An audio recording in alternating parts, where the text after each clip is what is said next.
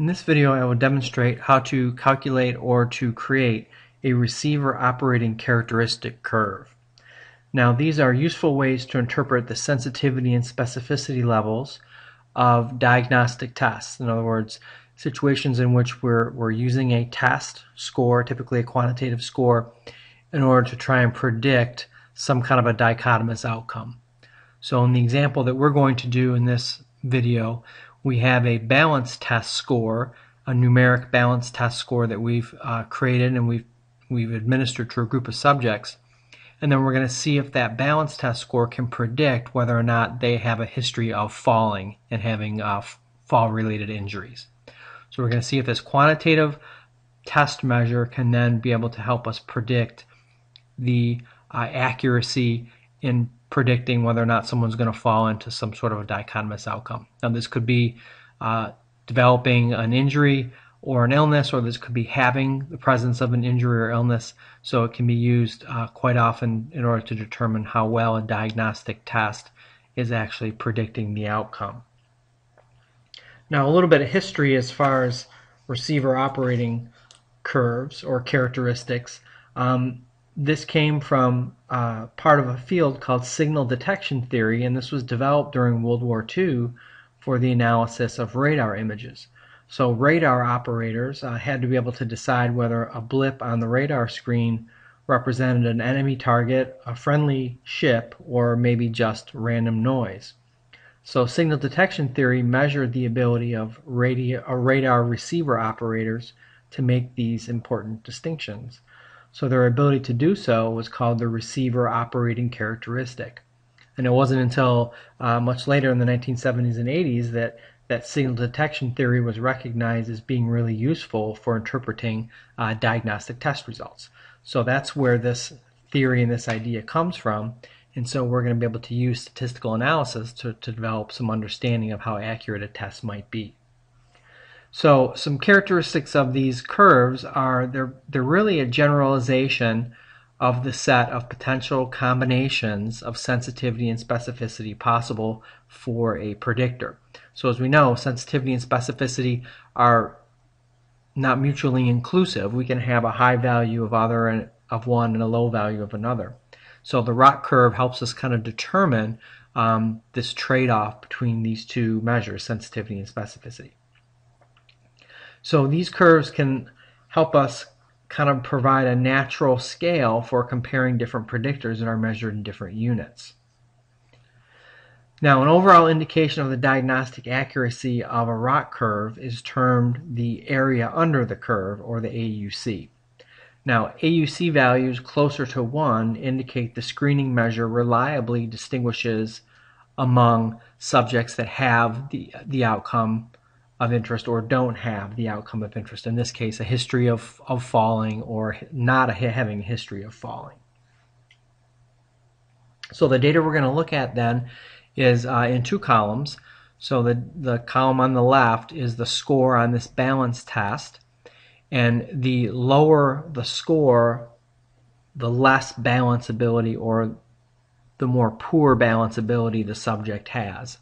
And the next column is the outcome that we're trying to predict, and this is whether or not the subject has a history of falling. So having a score of zero in the outcome means they do not have a history of falling, and having a score of one on the outcome means that they do have a history of falling. So what we want to try and do is see if the score on this balance test can predict whether or not someone's going to have a history of falling. And so that way we could use then use it to design some kind of an intervention to maybe prevent falling. So in order to compute uh, the ROC curve, we want to go to the Analyze menu and then go down towards the bottom of the menu where you see ROC curve and click on that. Now in this box we want to move our variables into their proper place. So the screening measure that we're using uh, is the test variable. So in this case it's balance assessment. So that get, gets moved into the test variable box. And then our dichotomous outcome variable gets moved into the state variable box, in this case, history of falling. Now, what we need to do next is designate to SPSS what numeric value we are giving for subjects who have the outcome of interest. In other words, subjects who have a history of falling. So we're using a value of 1 to indicate a positive outcome. In other words, they have the outcome that we're interested in. Okay, so in the, the box that's labeled display, we want to click on ROC curve. And then we also click on with diagonal reference line. And this gives us kind of a null hypothesis. In other words, if, if the test has no accuracy or no sensitivity or specificity whatsoever, our ROC curve would actually look like a diagonal line. Um, so what we're looking for is a curve that resembles, to a certain extent, a bell curve. And so we can use that to kind of get a reference idea of how, how much sensitivity and specificity our, our test actually has.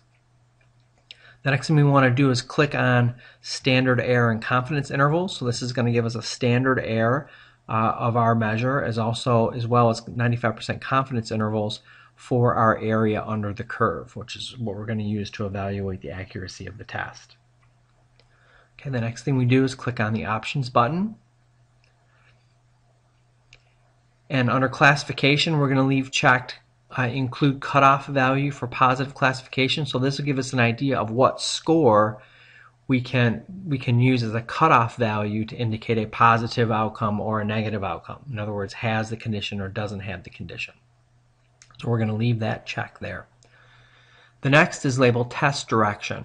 Now we need to tell SPSS which score on our screening tool we are assuming will be related to a more positive test. So what we're seeing here is a small score on our balance test is associated with more poor balance, which should then predict a history of falling. So we want to check a smaller test result indicates a more positive test. In other words, they're more likely to have the outcome. All right, and the rest stays the same. And we just click continue. Then we click OK. Now the first thing we can look at um, in our output is the case processing summary. And this gives us an idea of how many of our subjects tested positive for the outcome, in other words, had a history of falling, and how many tested negative for the outcome. So of our subjects, we had 32 subjects that were actually positive for a history of falling, and 93 of them were negative for a history of falling. Now the next thing we can look at is the actual ROC curve. So again, this green line represents the null hypothesis. This is a curve that has absolutely no value or represents a test that has absolutely no value, zero sensitivity, zero specificity. So that would be a worthless test. Now the, the, the curve that we're looking at is related to our data is this blue line. And as you can see, it's somewhat jagged. It's nice when it's nice and smooth, but very rarely does that, that turn out to be the case. So as we look at this, this line here, this represents the curve of the scores relative to the outcome. So this represents the sensitivity and specificity of our test.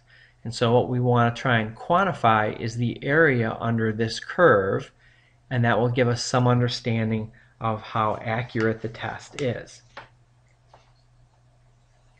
And so an area of 1, an area under the curve of 1 represents a perfect test. In other words, it has perfect sensitivity and perfect specificity. An area under the curve of 0.5 or less represents pretty much a worthless test. So uh, a rough guide for classifying the accuracy of a diagnostic test using uh, area under the curve is that if the area under the curve is, is between 0.90 and 1, that would be an excellent test. In other words, it has a very, very high level of sensitivity and specificity. If the area under the curve is between 0.8 and 0.9, that would be a good test. In other words, it has pretty good usefulness. A score between 0.7 and 0.8 would be a fair test. It has some uses, um, but I, I, it's not shouldn't be considered to be terribly reliable or accurate. A score between 0.6 and 0.7 would be poor. In other words, I would rarely use that test because of its combination of specificity and accuracy. And then anything that's at uh, 0.6 or below, uh, I would consider to be a worthless test. It's, it's not worth using because it does not predict outcomes very well. So it looks like we have a curve that mimics to a certain extent the bell curve, which is a good sign. That means we're going to have a fairly large area under the curve. So the next table we want to look at that gives us our, our final interpretation is the area under the curve table. So the first thing we can look at is the box labeled area, and this gives us our actual area under the curve. And so our test has an area under the curve of 0.849, which falls almost smack in the middle of that good range. So I would say this was a, is a fairly useful test. In other words, it has a good balance of sensitivity and specificity. We can also look at the standard error, and that's the standard error of the area under the curve. We can also look at the significance value, and again, we can use this to develop some statistical significance for our ROC uh, curve, and this is values less than 0.05. So we would say that this is, is a statistically significant ROC curve, in other words, giving uh, evidence of the accuracy of our test. And then lastly, we can look at the 95% confidence interval of the area under the curve. So this is telling us that if we were to do this with 100 samples of subjects, 95% of the samples would have an area under the curve that ranges between 0.758 and 0.94, which still which keeps us in that fair to excellent range. So uh, that would indicate that again we have a test that is likely um, going to be minimally somewhat useful and at maximum is going to be very useful and very worthwhile. So to summarize, I demonstrated how to perform receiver operating characteristic analysis to help us determine the accuracy of a diagnostic test.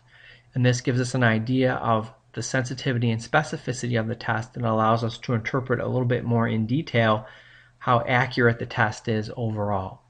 So hopefully you learned something from this video and good luck in using this technique in your own research.